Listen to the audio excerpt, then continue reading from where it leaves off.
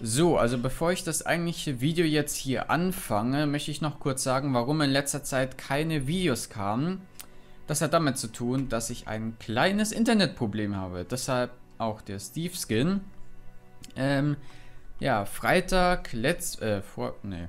Also Freitag vor ungefähr einer Woche, ähm, sollte unter unser Internet von 16 Mbit pro Sekunde auf 50 Mbit pro Sekunde umgestellt werden. Was passiert? Das Internet geht nicht mehr seitdem. Seit über einer Woche jetzt. ja, deshalb kamen keine Videos. Und äh, jetzt im Moment, wo ich das Video aufnehme, habe ich immer noch kein Internet. Ich hoffe, dass sich das bald ändert. Morgen soll ein Techniker kommen. Mal schauen, ob er wirklich kommt. Das wurde nämlich schon ein paar Mal versprochen. Und ob der dann überhaupt was regeln kann. Naja, auf jeden Fall, wenn das Video da ist und du schaust, dann weißt du, ich habe wieder Internet. Yay.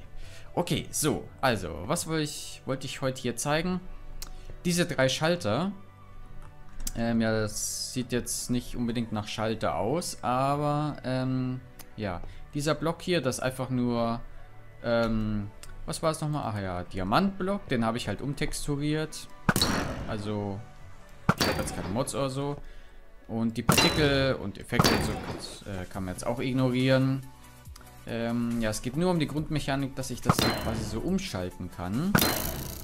Und hier, der Boomerang ist eigentlich Carrot on a Stick, ähm, womit ich dann testen kann, dass ich rechtsklick und dann im Grunde der Boomerang, der hier fliegt, ist ein Armor-Stand. Vereinfacht gesagt. Also nicht verwirrend ist. Und damit kann ich hier das hier umschalten.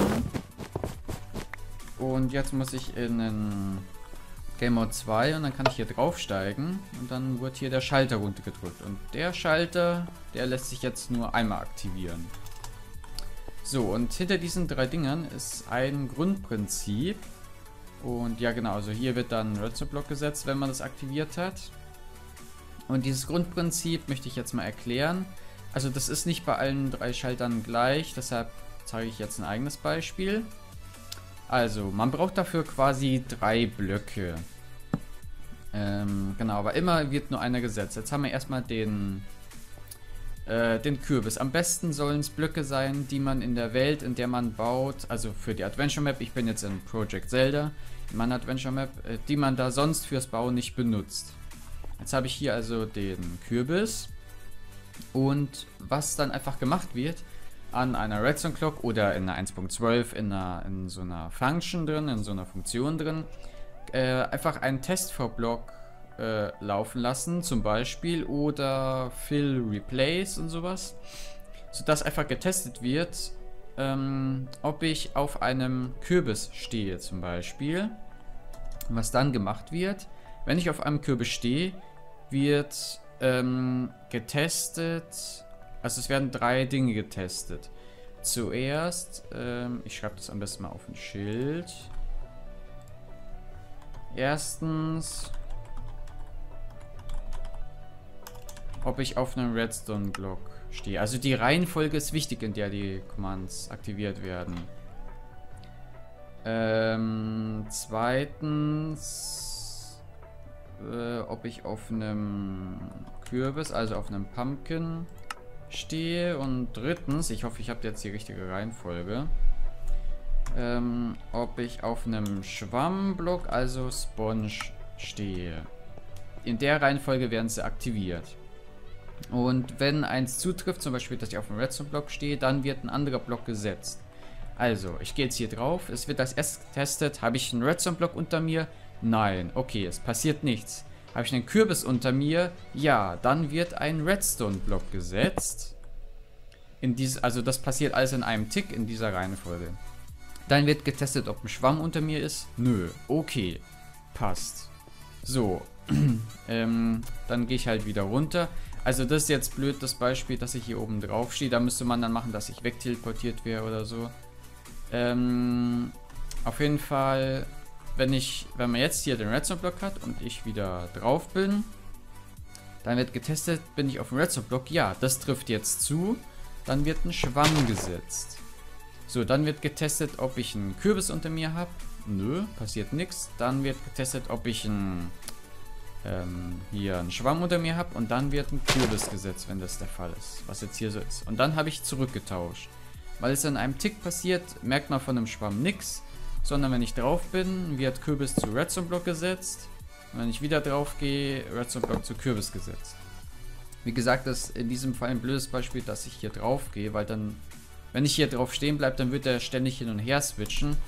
Deshalb geht es eher zum Beispiel für Pfeile, dass ich teste, wenn Pfeil in einem Kürbis drin ist, dass dann das hier so aktiviert wird. Oder ich werde halt wegteleportiert, sobald das passiert ist. Oder wie in diesem Fall, dass es eben nur einmal aktiviert wird. Aber auch nach ungefähr diesem Prinzip. Ähm, wer jetzt noch nicht verstanden hat, warum hier das mit diesem ja, Schwamm, warum ich nicht gleich einfach hier hin und her switche, wäre der Schwamm quasi nicht mit dabei. Dann würde ich ja erstmal testen, hier habe ich einen Redstone-Block unter mir. Nein, passiert nichts. Habe ich ähm, einen Kürbis unter mir kommt als nächstes. Ja, und dann wird gleich ein Redstone-Block gesetzt. Dann passt es. Dann wird die, in diesem Tick das erstmal so gewechselt. Okay, alles normal. Und dann werde ich halt wegteleportiert, beziehungsweise der Pfeil gekillt. Je nachdem, wie das aktiviert wird. Jetzt aber wird das wieder aktiviert, weil ich draufstehe oder ein Pfeil drin ist oder irgendwas. Dann wird getestet, Redstone-Block. Ja, ist der Fall. Dann wird jetzt direkt ein Kürbis gesetzt, weil wir ja den Schwamm weglassen. Als nächstes wird getestet, ob ein Kürbis da ist. Ja. Und jetzt sind wir wieder beim Redstone-Block. Und weil das in einem Tick passiert, war, äh, hat er quasi nie auf den Kürbis gewechselt. Der Redstone-Block bleibt jetzt immer da. Und dafür habe ich als Übergang quasi den Schwamm hier mit drin. Dass es dann doch wechselt und dass der nicht alles immer wieder zurück auf den Redstone-Block setzt. Ich hoffe, man hat das Prinzip verstanden. Und ja, danach läuft das alles hier. Und um die Schalter quasi zu unterscheiden, weil hier jetzt alles mit dem Kürbis und dem Schwamm und dem Redstone-Block funktioniert, habe ich bei dem zum Beispiel noch einen Eisenblock drunter. Dann wird halt getestet, ob ein Kürbis auf dem Eisenblock drauf ist und dann wird ein Schwamm auf dem Eisenblock gesetzt und ein Redstone-Block auf dem Eisenblock ne, ne, und so weiter. Und hier wird halt getestet, ob ein Diamantblock oben drauf ist. Und es kommt auch darauf an, durch welches Entity es aktiviert wird. Äh so. genau.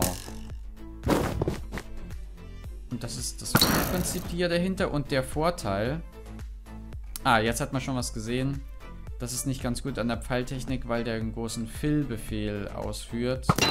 Dass der sich mit anderen Sachen manchmal in die Quere kommt. Mit dem hier zum Beispiel. Also es ist nicht ganz optimal von mir umgesetzt, aber das Grundprinzip passt. Ähm, ja, worauf wollte ich jetzt nochmal hinaus? Jetzt habe ich das natürlich vergessen. Auf jeden Fall ist es halt sehr nützlich und man kann da mehrere verschiedene Schalter machen. Ja, genau, der große Vorteil ist, um so einen Schalter zu setzen, setze ich einfach nur die beiden Blöcke dahin. Und das war's. Ich brauche keinen Marker-Entity hier drin, irgendwie ein Armor Stand oder eine Area Effect Cloud, die das Ganze quasi markiert, dass ich weiß, dass hier der Schalter steht. Das braucht es nicht.